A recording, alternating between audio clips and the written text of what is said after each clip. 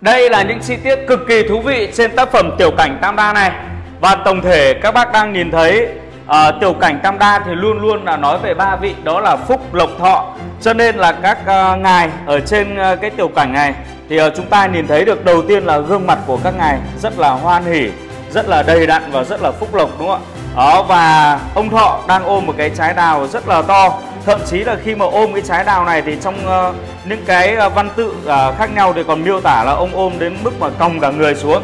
Và cái thứ hai là những em bé ở bên cạnh uh, đều là những cái tượng trưng cho cái uh, sự tiếp nối và cái sự hoan hỉ.